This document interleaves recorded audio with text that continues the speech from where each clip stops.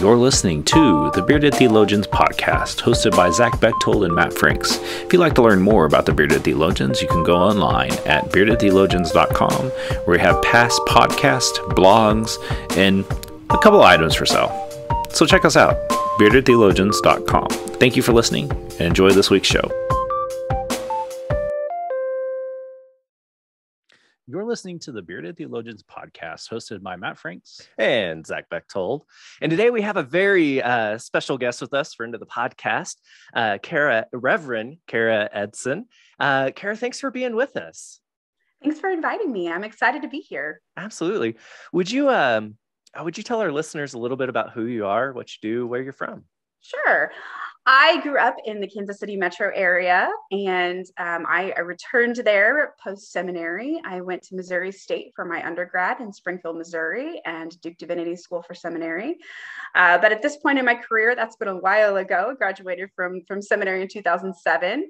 I was ordained and an ordained elder in the United Methodist Church in 2010 um, in what then was the Kansas East Conference and is now the Great Plains Conference. And I am currently serving two small churches um, in just kind of very close to actually where I live, just a 10 minute drive from my house. Uh, they are called McLouth United Methodist Church and uh, Oskaloosa United Methodist Church. And those are in McLouth, Kansas and Oskaloosa, Kansas. Awesome. Um, I love I love having folks on, uh, you know, with the Methodist connection and and hearing about you know, you know, Matt's in Oklahoma, I'm out in Wyoming, and uh, our conference out here in the mountain sky is pretty expansive. Yeah. Uh, but but neighbors, you guys over yeah. in, in, Kansas, so it's it's really fun uh, to kind of see that connection and and hear the different stories and how how we're doing ministry and things like that. So, uh, thanks for bringing that perspective onto the podcast today. Absolutely. Well, so, you, oh, go ahead, oh, Matt. Well, I was I was just going to lead her into her book a little bit. Uh, so, um, part of the reason why we're having you on today um, is to talk about this uh, great book that you have here uh, for Lent. If you, uh, for those that are listening, if you haven't planned your Lent yet, this may be a great opportunity for you now to start planning that because it's only like two or three weeks away. So, um, but she has a great book here uh, that's uh, called "A Time to Grow: Lenten lessons from the garden to the table. And so, Kara, um, would you kind of you know share us a little bit about your book here that you've got? And, um, Absolutely. So my favorite two topics uh, are, are God, because you know I'm a pastor, so I get up and talk about God about 15 minutes every Sunday morning in front of a whole bunch of people. And my one of my other favorite topics is food and discussing food and where our food comes from, how our food gets from seed to table, and uh, I love feeding people. Uh, there was a, a, common refrain when I was a campus minister because we frequently met at my house. And so my students often said, Nobody leaves Kara's house hungry. Um, and that's just, I really love to make sure that, that people are fed. Um, and that goes as a pastor, both spiritually and then also physically.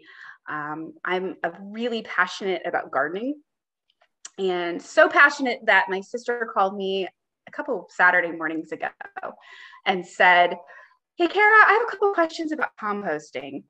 And 55 minutes later into composting, I uh, my sister kind of interrupted me and she goes, Kara, I, I have to go now.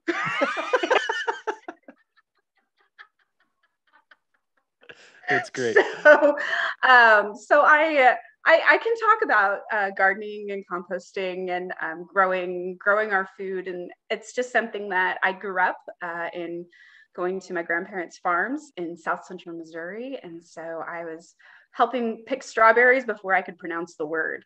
So even though I'm a city girl, um, kind of by by how I was raised, I definitely uh, have really really deep roots uh, in the soil.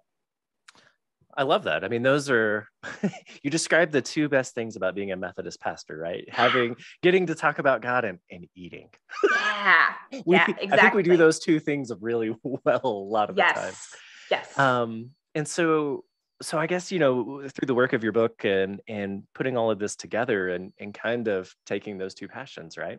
right. How how have you seen um how have you seen that grow uh and and food, right? And where it comes from, how we get it. How have you seen that kind of grow into the spiritual part of of people's lives, if not your own? So the book is um, kind of broken up. Each holy day has its own theme that comes from gardening. So things like light, water, uh, life, and then things like fast and feast, um, which are all very, very relevant if you're eating, trying to eat locally and, and resource your food locally. Um, it, I have definitely been on a, on a huge journey as far as, is just learning to garden. Uh, my grandfather, even though he was an excellent gardener, um, by the time we planted our first little little raised bed, my grandfather had actually passed away, and so there were there was all this knowledge that I did not garner from him. And luckily for me, my uh, husband's grandmother was just an amazing, amazing gardener, and so I could call up Arlene anytime and say, "Hey, Arlene, is it time to is it time to cover the strawberries? Is it time to uncover them? Um, should my tomatoes go in this week, next week? Because uh, anybody that lives in this part of the country knows, and and Matt's Matt's further south than me, but he still knows this. Uh, the weather is not predictable. Mm-hmm. Um, there there are no guarantees, and so um, she was just an amazing mentor for me, and and learning how to do that. And I think that for me, I, I came to find that in addition to obviously the the spiritual parts of what I do professionally, that I was finding God for myself more and more frequently when I was in that quiet time in my garden, um, just growing food, weeding, um, and doing all of the the hard work that it takes to produce that food. We actually moved. Uh, my husband and I moved to a bigger piece of land three years ago because he wouldn't let me turn the entire backyard into a garden. He said we had to have some grass, which I think is overrated because I can't eat it. But uh, he he was very insistent that I couldn't turn the whole backyard into a garden. you know, for me growing up, uh, when we had our garden in our backyard, um, that was our outfield. Like that was like we literally had a field of dreams type setup to where nice. the garden, if you hit in the garden, is a home run. And so, like, yeah. when I think of garden, especially like backyard gardens, to me, I think that's the one thing that comes to mind is that like field of dreams type, like you hit it in the garden. Yeah. Uh, and you better hope you don't wreck mom's tomatoes or else there's going to be you know there they'll be held to pay um, and so you know as you were putting this together um, you know what was kind of like your biggest discovery as you were kind of crafting all this um, I think the one thing that I didn't even realize until my public until my I, my publisher pointed it out was that um, there, it was really it was really amazing because as they were editing, my editor was editing. She she pointed out to me that that Good Friday starts in a garden, and that Easter mm. morning finishes in a garden. And I hadn't ever that hadn't pieced that together, even though I'm writing this book on Lent and gardening. And she's like, Kara, you should probably talk more about this. Um, but that those pieces of those pieces of where our food comes from and those traditions of our food are very, very much ingrained in, in who we are and how we um, you know there are things that you can say to somebody and, and immediately every every person in the united states uh, that's been here for, for more than a couple years will come up with the same answer when you say things like what do you eat at a birthday party um, you, you eat cake and ice cream, right? Like that's that's just the standard answer. And so um, in, in in that expansion of that theme of, of how deeply we are connected to to what we eat and how our cultures are so deeply connected to what we eat. Um, I, I, came to find a really new passion for communion and and that particular meal of when we gather around the table and um, experience God's grace together and and just thinking through kind of the organic nature of that first that that first communion together with Jesus and his disciples that it wasn't this like very formal you know nobody put on a robe and stood up in the front with a stole and, and there weren't like fancy chalices. This was just this was just a meal among friends. And um, i frequently experience god uh, very very closely in in those settings when I'm, I'm i'm getting to host people in my house and and provide a meal and just sit around and chat. Like that that is a divine experience to me often. Mm-hmm. I, I love that so much um, i have found in my routine of of preaching uh, that often when I start a new appointment, one of the first sermon series I I work through is is something around food, gathering yeah. at the table, um, and and usually I focus on you know meals with jesus and all of the times that jesus goes and eats with people and the conversations that are had or what transpires because of it uh, and it's not always pretty for jesus right no. sometimes he has these wonderful things and other times uh, you know people are standing outside pissing and moaning about a meeting with the sinners right? Right. And and then and then you you come to the communion table right? You come to that meal and um, i think there's something so significant about us as people sitting around a table mm-hmm. uh, sharing a meal whether it's for church or you know spiritual reasons or gatherings or whatever or if it's just our families or strangers yeah. or however there there's something about a table with food on it with food and drink on it that breaks down barriers and makes us makes us human makes us people yeah. um and and thinking about about communion and the way that we come to the communion table i've served all over texas and new mexico and montana and wyoming now and everybody comes to the table a little bit differently.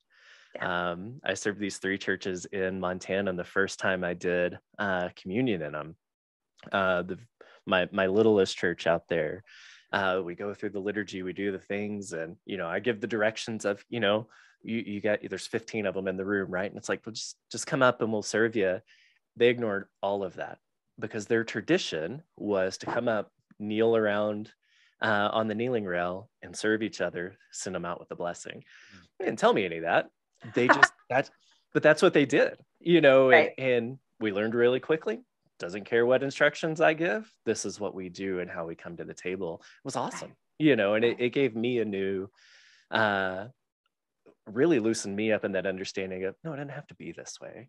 It didn't have to, we don't have to do the things. The table, the invitation, the receiving, and the the sending is is huge, right? It's those relationships that we build there and and come humbly to the table wherever it is and however it is. Yeah. Um, I love that. And and it's food yeah. it's a meal, right? And and right. It, and no matter what that meal is, whether it's communion or you know, uh, barbecue or a burger or whatever, right? It's the meal that sets the table for us, which I think is really cool. And that's one thing I, you know, I, I did actually a, a I led a, a, book study group uh, just a few days ago that we're getting ready to start reading this for for the season of Lent, and and I asked the ladies that were in the group. I said, you know, can you what is your what is your like kind of strongest food memory from your childhood and and we could have been there all day um, hearing those stories and and those are all stories that we have those are stories that that touch us very deeply and and if we can think through those stories not only as as food memories but also kind of how does that impact our spiritual life um, that can be a really big deal mm-hmm. yeah I, you're right i mean we being serving regionally like I have and, and have, have had the opportunity and privilege to uh, be all over. Um, Montana, you have a really big Scandinavian uh, yeah. Lutheran culture and lutefisk. Every year, you know, uh, my parsonage was a house down from the Lutheran church, and every fall my house smelled like rotting fish because that's what. But that's what, and they the community, Lutheran or not, looked forward to it.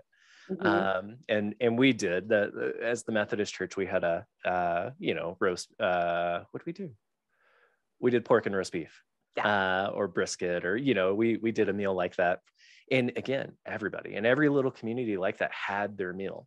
Uh, we had a German community that did a German meal, and and we planned really tried to plan well so that you could hit. We weren't planning on top of each other, so that the communities right. could be involved with one another.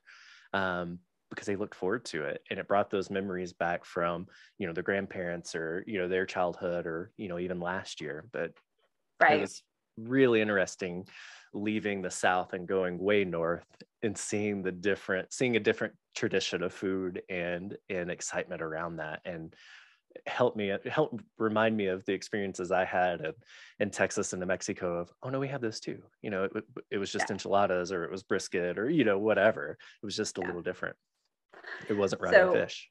when I was when I was two and my mom was pregnant with my, my little sister, my mom couldn't keep down any protein. She had like morning sickness almost all the way through her pregnancy. And she she gave birth to my sister when I was about 10 days before my, my third birthday. So um, during that that span that she was pregnant, um, one of the only ways she could keep down protein was she would eat Malt-O-Meal and she would crumble up bacon in it because she could keep Malt-O-Meal down. And so that was what she fed me every morning for most of that pregnancy. And it's a very weird dish. And yet to this day, when I'm sick or when I'm really, really sad, the only thing I want is Malt-O-Meal with crumbled up bacon, which my husband finds bizarre. He's, like, that is just weird. Um, and and then when I was going to school out in North Carolina, they don't they don't sell Malt-O-Meal in North Carolina. You can't get it. And this was in the days before, you know, you could just go online and order food. And so I would I would stock up on Malt-O-Meal when I went home. And then um, just a little tip for for anybody listening: uh, don't try to put Malt-O-Meal in your carry-on because they check it because it's like a weird like box of powdered substance that they can't identify when it goes mm-hmm. through the the X-ray machine. And so you always get your bag checked if you have a, if you have a box of Malt-O-Meal in your carry-on. Just just so folks know. just a, a TSA FYI on podcast today. maybe that's been your problem this whole long. You've been carrying that Malt-O-Meal with you for, you know, every I time you fly. I have a high yeah. rate of getting searched at airports all my life. All of maybe life. that's it. You need to, you need to you need to just start it's shipping the Malt-O-Meal at home. just, just, start shipping it to wherever you're yep. going, so way it's there when you arrive. And yep. yeah, that's probably what I should do. yeah, there you go. There you go. Yeah. I love that. I, fried okra is for us. Yeah. Um, we can get it in Cheyenne at some places, but further north than this, they're like, we don't, we don't know what that is. well, and and for us, it's been you know uh, moving back into my home area um, now, now, now reservation land. Uh, uh, uh, I've introduced my wife to bologna and have oh. um, showed her some of the ways, not all the ways. There's still a few things I'm holding up my sleeve for later um, on the ways of bologna, and uh, that's definitely been some interesting conversation because it's not something she grew up with. Um, and uh, definitely a native treat in some ways. And when when people are hearing you're having bologna, they will come over. um, and so you know, I always find I always find that that um, for me, um, I came to church. One of the reasons why I came to church is because I was given zebra cakes every Sunday for Sunday school when I was a youth. Um, the very first time that I went as a teenager, I was like 16 years old. Uh, the woman had zebra cakes there, and they were there every Sunday, regardless of who was teaching, because they had a team of four. And so each week there were, you know, hostess cakes or zebra cakes or donuts.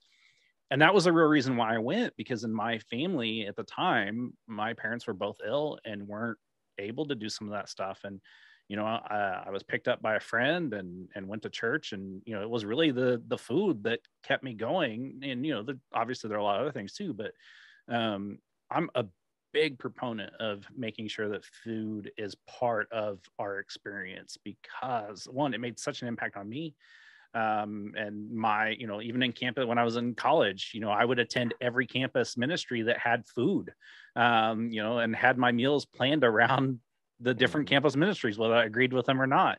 Um, and i think that um, you know now with covid and stuff that's changed. You know we've had to kind of think rethink some of that.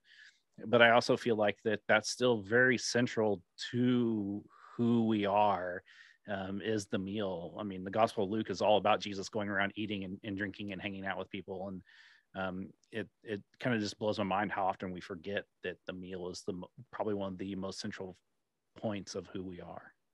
Absolutely, absolutely and you were talking about different com- communion traditions zach there's like so many different places i want to go right at the moment right uh, matt first like uh, on your social media you're always posting like smoked bologna and like so I, I i that's not the first time i've heard about it because you you've been posting about it for years but i will confess that i'd never heard of of of, of smoking bologna prior to to my interactions with you. It's the, it's the only way you one. can make it edible. I mean, really. and and my I, I will admit my smoked bologna casserole that I have developed is is a treat is a tasty treat. Um, and uh, other people would disagree with me on that but yeah it uh, you haven't even had it so you don't even know. I don't need to. So uh, what's really fun is that the Wesley Foundation is that every week, every finals week, I, will do about seven or eight loaves, depending on what Shanna can get to me. And that uh, meal, when that bologna is served, is probably the best attended meal and the yeah. fastest that they run out of food because everybody's like, you know, it's it's kind of a regional thing, and so right. so yeah, right. Well, and then the other thing was when Zach, when we were talking about communion traditions, um, and I tell this story actually in the book about communion, but I had uh, one of the churches I served, there was, um, I guess he would have been eight at the time, an eight year old boy that he loved the communion bread and he just thought it was the most delicious thing in the world. And so this one Sunday, he like sneaks around the back of the sanctuary and gets back in the communion line because there were two lines. And so he gets in the in the other line and, and he takes communion again. And then he comes uh, comes up to me after the service is over and he's like, Pastor Kara.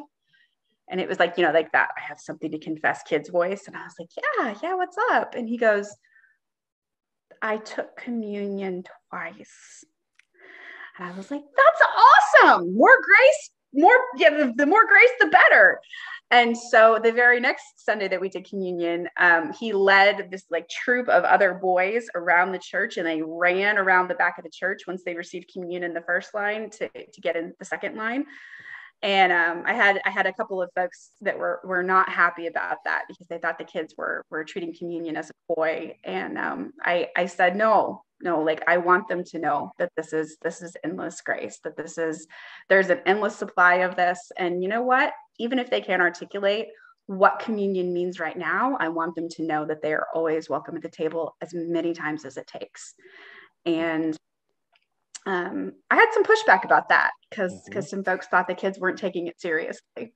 Right. So, and that kind of reminds me of my first time i ever took communion. I wasn't I had only been to the church once before this, and and um, I was walking up with the youth because that's what you, you know at that time that's what we did. You know, you, right. you took communion together regardless. And so we're standing there, and I remember like leaning in to one of the pastors' daughters, like, so it's the body and the blood, and you're okay with this? like, you're you're okay with being cannibalistic? Like, I mean, I like, you know, uh, I was a non-believer. Like to me, this was just so foreign. And she's like, it's yeah. just grace. Like it's grace, and you'll yeah. like it and so um and and and i always remember that because i always remember just that um i always try to make sure when i make that invitation that it's not my table it's not the church's table it's the lord's table and it doesn't matter where you are or who you are you are welcome here and and i think um, in the church sometimes we forget that because we want to put up those barriers or we want to have like like you had said you know people were concerned about you know uh, you know, but those boys are always going to have that memory. I mean, yeah. and and and you know, those are those things we need. Man, that's how we carry on the faith is through those things. Yeah. Not the can they recite John 3:16 frontwards, right. backwards in English, Spanish, Cherokee, whatever. Um, but can you know, do you have an experience of faith that is you know healthy and you know can be life giving and not just life off putting. And, and I and I say that because I remember um, Sunday, sorry Saturday night, I was preparing communion for church on Sunday, and we do it. Um, we we pre-package ours, so we do we have little little tubs like everybody else is kind of doing now, where we do communion, where we do the juice and then the deal. And I had it all finished, and and I had um, the Hawaiian bread still sitting there, you know, uh, you know, just kind of sitting there. So I'm trying to figure out what to do with it. And before I could, I had came back and cleaned up some things and came back. Both my children were like, had already devoured it.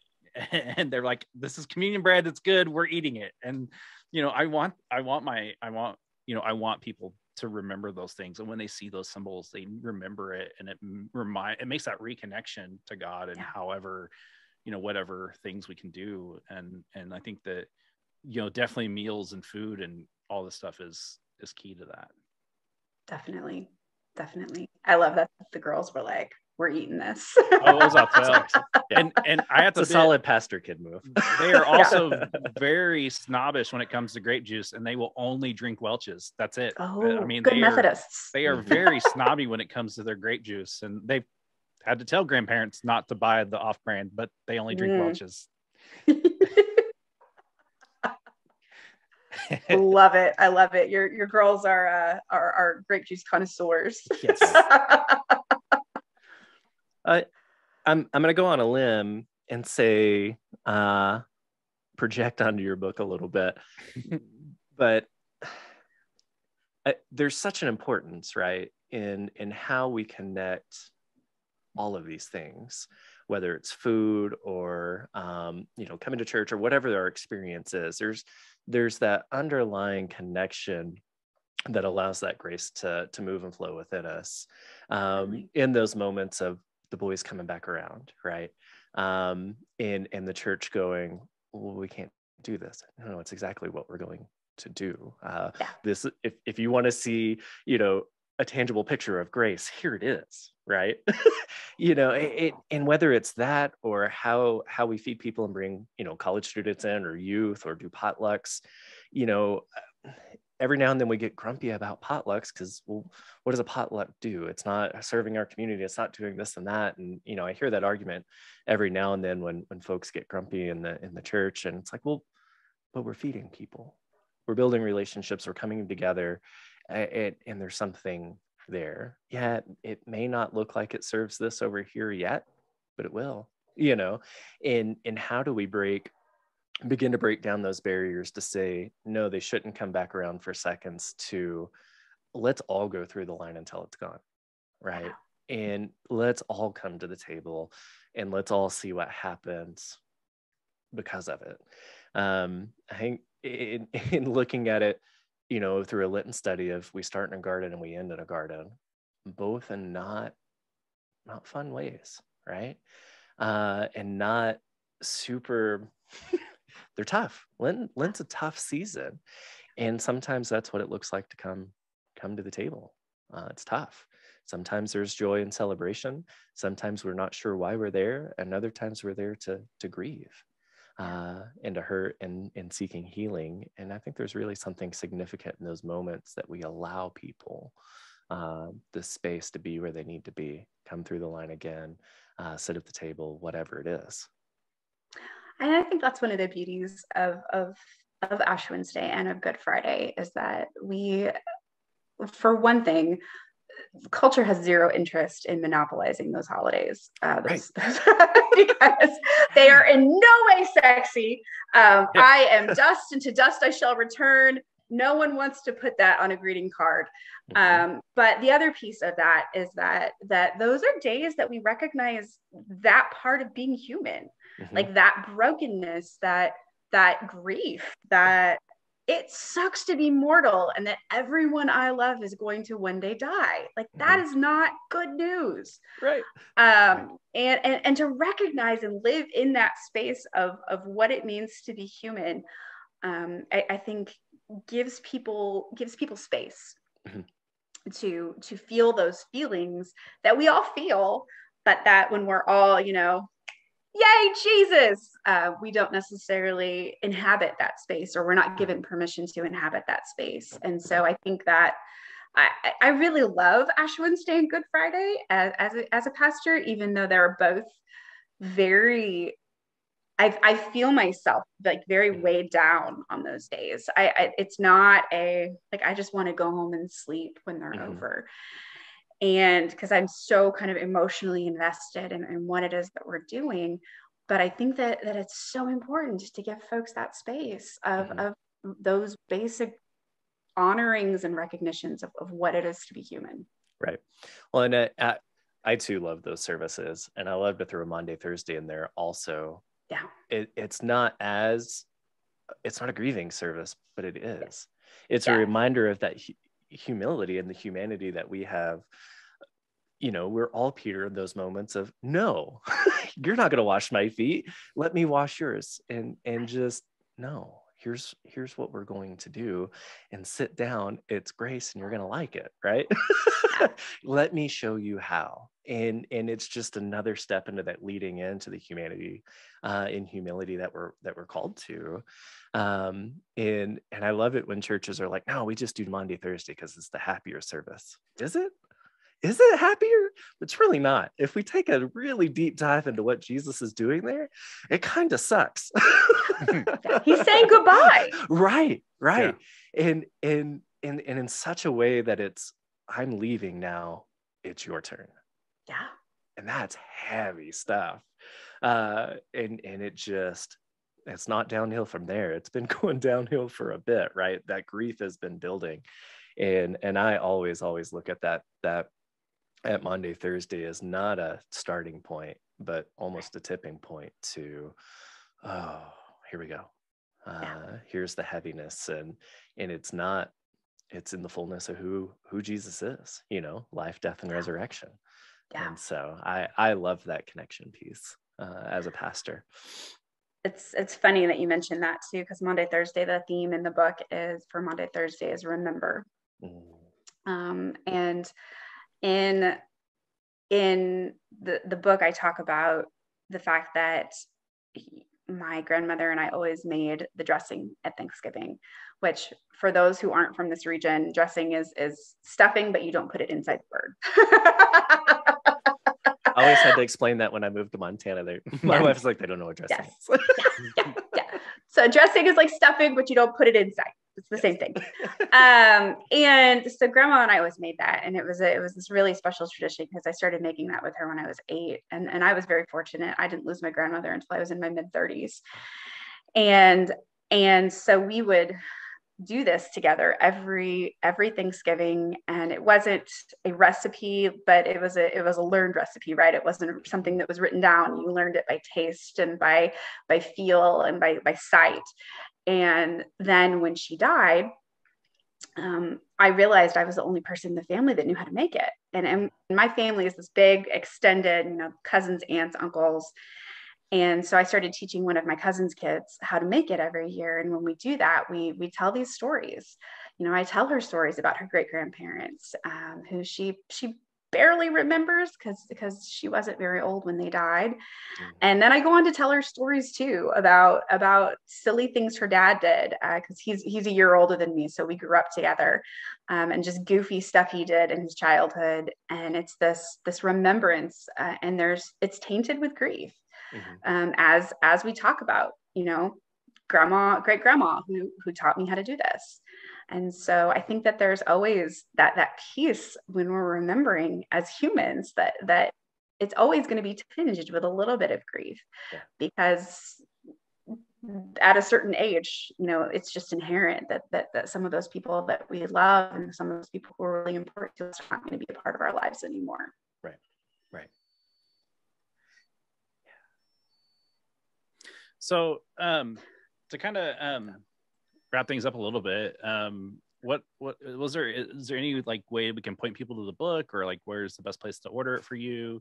Yes. Um, um, uh, anything else you want to talk about the book? Uh, you know, oh, kind of you know, kind of that sort of thing. You know. Yes. So if we can, if we can do the one, like this is actually a huge, huge topic. So I know we won't be able to get into it very in depth. Uh, but there, I do talk about in the book a lot about the justice issues behind food as well, mm. and I address a lot of justice issues because the the layers of injustice in our food system are are bountiful, and the layers of sin in our food system are bountiful. And so, in that, I talk about um, ways that, that folks can try to make a difference in the injustices in our food system in their own communities um, and even in their own households so one of the things I talk about is learning to compost and, and, cutting down on your on your on your carbon footprint as far as what goes into the landfill. Talking about um, if you're in a place where there are food deserts, trying to to make a difference in in those resolving some of those those those barriers to getting fresh and healthy food. Um, yeah, there's a whole list of things about you know learning your resources for eating local. Even if you're not going to garden even if this isn't your thing and you don't want to grow your own food there are still ways that you can you can do this and, and you can approach um, creation care and taking care of god's creation in, in a really really powerful um, and, and meaningful way. No and that's a really that's such an important important thing because of everything you just said right? And not only are we abusing creation resources right in the fullness of of what god and, and who god has created but um, i did a lot of work in my undergraduate about people resources and how we use people and uh, and if you even scratch the surface on that it's food industry right? That's almost always where it begins and you see the most or see a lot of abuse and oppression and uh, the justice issues that we find that are then systemic throughout the rest of uh, everything that we do right? And so so even just the minimal awareness of that can can help us begin to as people in our everyday lives do small things to counteract that. Right. um and and that's you know there's always a starting point right and uh, and that's what I hope, uh, especially on that issue of of of food deserts and just injustice to workers and things. How do we start with just baby steps and yeah. make differences where we can? and making different food choices too trying right. very hard to make sure that we're eating food that's that's resourced from people who are pay, paid a fair and living wage who right. are working in healthy um, non-dangerous circumstances. And and part of that is, is, is a privileged perspective. Mm-hmm. um, if you're in a place where you can choose what you what you eat mm-hmm. um, and i and i do recognize that as well. But for for those of us who are in that position um, there there is an obligation there. Um, that's not just a let's save the whales kind of thing but that is an actual we are responsible for caring for god's creation and for god's children well, I always found that interesting too. Um, this that whole idea really came to mind when I lived in a community that really didn't have any access to that stuff. Now, you know, we was a farming community, so there was some of that, but you know, like being able to have a grocery store in town, you know, not having that, that I mean, gosh, man, like you want to talk about the the difference between kids actually getting something and you know having accessibility to food um, versus you know the only thing that they know is what they can get at the convenience store. Um, and and seeing that play out um, definitely has been kind of something i've been trying to work with and work you know help bridge those gaps. Um, in my previous appointment actually where i met you kara one of the things that we did is we ran this program where um, we it was a fitness program where we would teach kids how to be fit and everything and eat healthy and we partnered with a grocery store to give us fruit and vegetables that the kids would never have the opportunity to taste and get the opportunity to taste what a dragon fruit tastes like and stuff like that because you know sometimes they don't ha- they've never didn't even know that dragon fruit was a thing. Um, they just saw it on the side of a you know package deal. And so you know being able to provide those opportunities and spaces uh, was, was key and just a healthy living lifestyle you know exercising and all that stuff you know that's i think that's something that church misses from time to time that it's not just about the spiritual health it's about the physical and the food security and all those things that we can you know we can strive for so, so and this idea of you know i i expand it out um that uh, to the idea that obviously no one should leave no one should leave god's house hungry um and, and a spiritual sense when we're talking about communion, but that applies that applies physically too. I mean, Maslow's hierarchy of needs. If you're hungry, nothing else really matters. Um, you're you're not going to be reaching higher spiritual planes or be all that concerned about the the the, the complexities of theology and things that theologians are arguing about if if there's no food at home. Um, and so those are those are just basic basic human rights. Mm-hmm. So and 40% of the food that's produced in this country goes into landfills. Over 40% mm-hmm. percent mm hmm of the food that's produced in this country goes into landfills, um, which tells me that we're just not, it's, it's another piece of that brokenness that how can people be going to bed hungry in this country if 40% of the food that's produced winds up in a landfill? Um, and yeah, that's just mind blowing to me. It is, it, and and heartbreaking, right? Yeah, I'd it's yeah. heartbreaking more than mind blowing. Just just yeah. flat out heartbreaking. Yeah. So, uh, Kara, um, you want to remind us what the name of the book is, and then where oh. they can where they can pick it up? Yes, absolutely. So this is a time to grow Lenten lessons from the garden to the table, and you can get it. Um, you can order it at, at your local book bookseller if you have a favorite bookshop. You can get it on Amazon, Barnes and Noble. You can get it from the publisher Westminster John Knox online. Um, and you you also can, if you want to, get a copy from my website. Um, I do have to charge a little bit more there because I don't get free shipping. Uh, so so I'm trying not to take a loss on the books. I actually don't get a discount on my own book. I know that's kind of weird and people don't expect that, but um, so it is a little bit more expensive to buy it on my website. But those are for for folks that wanted signed copies in my life mm. that that live further away. That um, we were trying to trying to make that happen. So so Kara, where, um, where where is your website located? It is just karaeidson.com. Um, and uh, so K A R A E I D S O N dot com.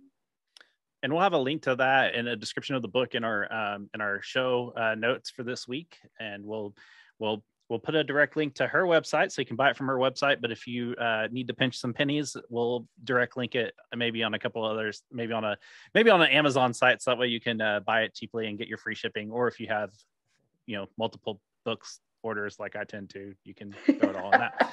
Um, and so, Kara, you know, we want to thank you for uh, being on the show, and we will definitely have you back to talk about bunting strategies as maybe if the uh, MLB season actually does happen this year, and we can talk about the universal DH. Um, definitely conversations for other times. Mm. Um, and, and, as a Royals fan, I have lots of opinions. yes. Um, um, by the way, in 1985, he was still uh, he was out, so we will. He uh... was not. That is blasphemy. Again, another topic for another day. Uh, but Kara, we definitely thank you, uh, we definitely uh, thank you for being on, and uh, you know we want to encourage people to pick up the book. Uh, if you haven't figured out a Lent sermon series by now, I would encourage you to do this. Um, it was kicking me because she had approached me, but by then we'd already made our decision uh, as a team, and so like I was like, oh, this is this is definitely next year's study. Um, and so you know, I thank you for that and uh, encourage um, those that are listening. If you're looking for something, this will definitely be a good Lenten practice for you. Um, and if you're looking as as a pastor or as somebody who's in worship leadership, there are also resources in the book for liturgy. Um, there are prayers already written out that go with each week and with each holy service, each holy day in Lent. Um, so we tried to make it a very very accessible resource. Nice, awesome. So you know, thank you for joining us today, Kara. Um, Zach, do you have anything to to bring us as we bring us to the close? No, thank you for being on. Uh, I think this is a gosh, it's a it's an important conversation and a and a super deep practice that brings us closer to one another in the fullness of creation and God. So thank you. Uh, thank you for being on with your wise words and beautiful conversation. Thanks. Thank so, you guys. Um, you know, encourage you to go pick up our book. Check out our uh, podcast at beardedtheologians.com. We've got a, a lot of great content up.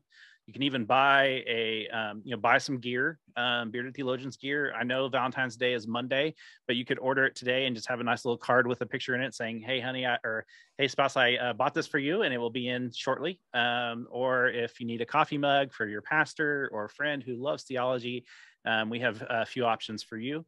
Um, and so just check us out um, at beardedtheologians.com. And so for the Bearded Theologians, I'm Matt Franks. I'm Zach Bechtold. Thanks for checking us out. Want you to subscribe and like this video and put that thumbs, push that thumbs up. Thank you for listening to the Bearded Theologians podcast. Don't forget to like, subscribe, and share on all social media outlets. You can check out old episodes and more information at beardedtheologians.com. Thanks for checking us out.